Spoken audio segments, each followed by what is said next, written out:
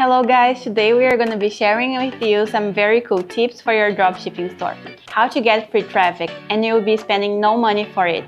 Before we start, let me tell you something. Many people when they first start dropshipping, myself included, spend a lot on ads. In my case, I thought I'd have to sell my kidney just to keep my ads running. But then I started using these traffic tips and my store became a success. So stay until the end because I'm about to spill the beans. First, we have the Instagram influencer collab. Many people think this can be really expensive, but hold up, you won't be collaborating with the Kardashians or something.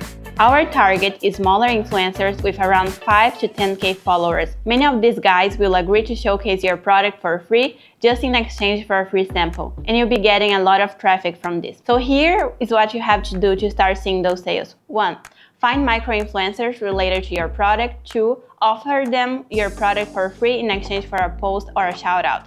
And 3. Give them a unique discount code. And just sit back and watch your numbers go up. Now, I want you to pay attention here. Pinterest can be a gold mine for online store, especially if your niche is fashion, home decor, or gadgets. I have a friend that gets more than half of his traffic from Pinterest. That is crazy, and the best part is that it is free. So if you also want to get into Pinterest, follow these steps. First, you have to create interesting pins for your products.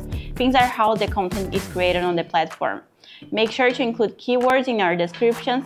This is good for SEO post consistently at least 5 pins a day. Tip number 3. Content marketing. So this one may take a while, but it is definitely worth it. You have to start a blog on your store website and create eye-catching content to keep your readers interested. You can start off by writing posts related to your products giving tips and showing your audience how your products can improve their life. Make sure to strategically use keywords on your writing so your store ranks better on Google. That is one of our main goals when using this tip. Now, after your blog posts are ready to be shown to the world, you have to share them, them on social media to attract new customers. You could also collaborate with other blogs and market your store. It is a great way to get new people to access your store. All of this is a loose process, so you need to be patient, but once your ranking on the search pages improves, you'll be getting consistent traffic and many conversions.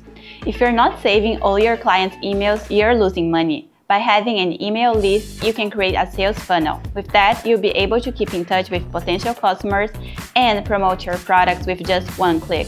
In your emails, you want to let readers know about new products, promotions, and you can also send your blog posts to keep them informed and interested on your updates.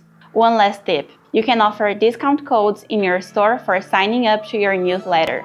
This way, your email list will only keep growing and trust me, it won't be the only thing growing in your store.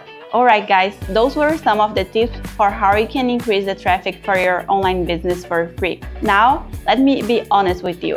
These methods, they may take time and effort to bring profit, but almost they do, it will be non-stop and totally worth it. Before I go, here is our bonus tip. Combine all of these strategies presented here and you'll be miles in front of your competition. So stop wasting time and start now. If you like this video, make sure to give us a like and follow us. I will see you next time. Bye.